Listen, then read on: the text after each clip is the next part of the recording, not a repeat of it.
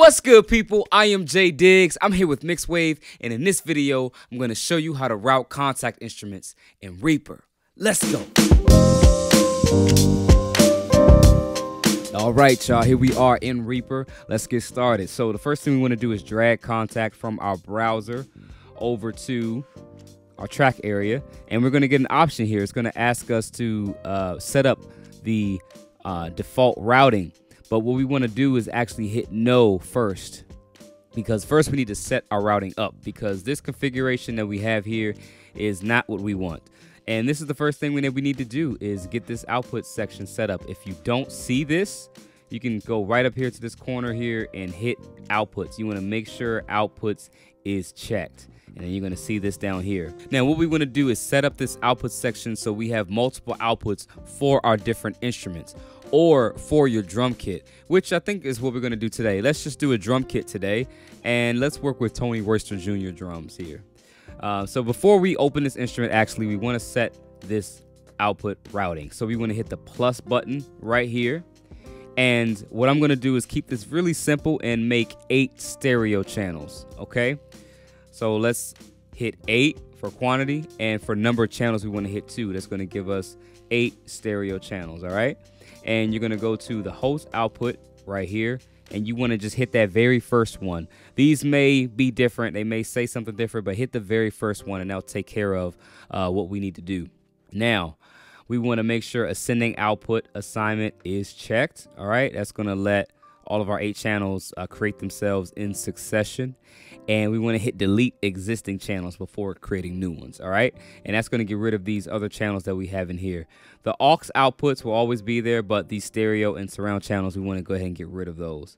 All right let's hit ok all right so it made eight stereo channels and you can set up mono channels if you want but i found that the easiest way to do is just to make your stereo channels okay? Now before you uh, go any further, you want to set this as your default setting. That's going to be really important for what we need to do next. So you want to hit this button right here and we want to hit save current output section state as default and we want to hit all formats. All right. And the next thing we're going to do is close Kontakt. So you want to completely close the instrument out and reload it. So remember last time we did this and it asks us this question if we want to build the routing. This time we want to hit yes.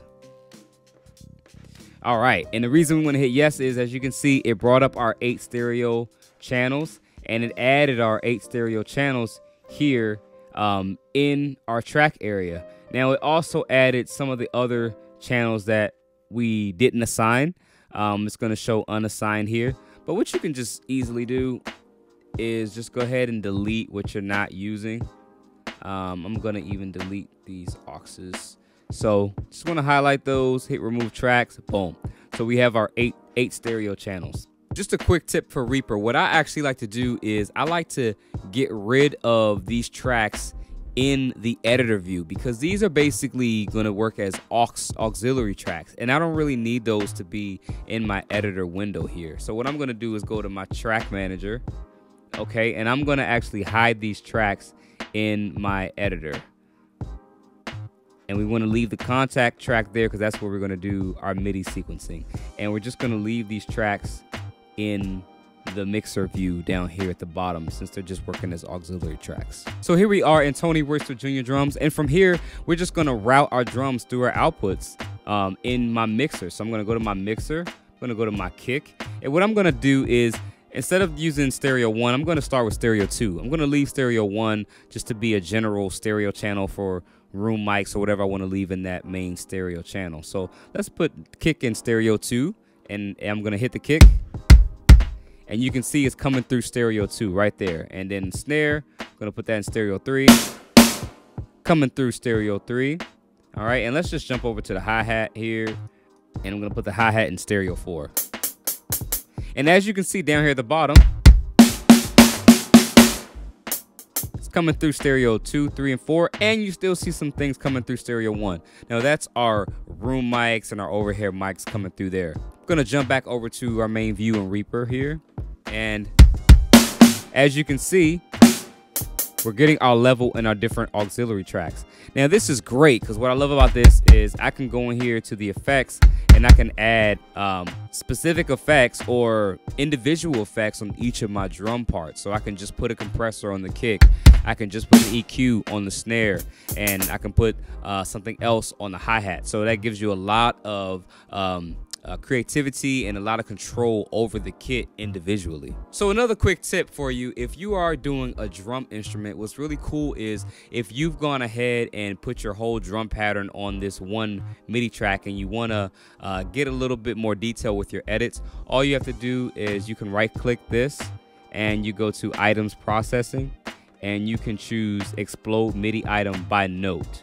and hit that and it'll separate all of your parts into uh, different MIDI tracks right there. You can kind of get a little bit more detailed with your processing, which is awesome. Just gives you that much more control. And when it comes down to mixing, you have your aux channels with your audio flowing through. If you want to bounce those down, go ahead and make your audio tracks and bounce those down to audio, and you're good to go. All right, guys, there you have it. That's how you route Kontakt instruments in Reaper.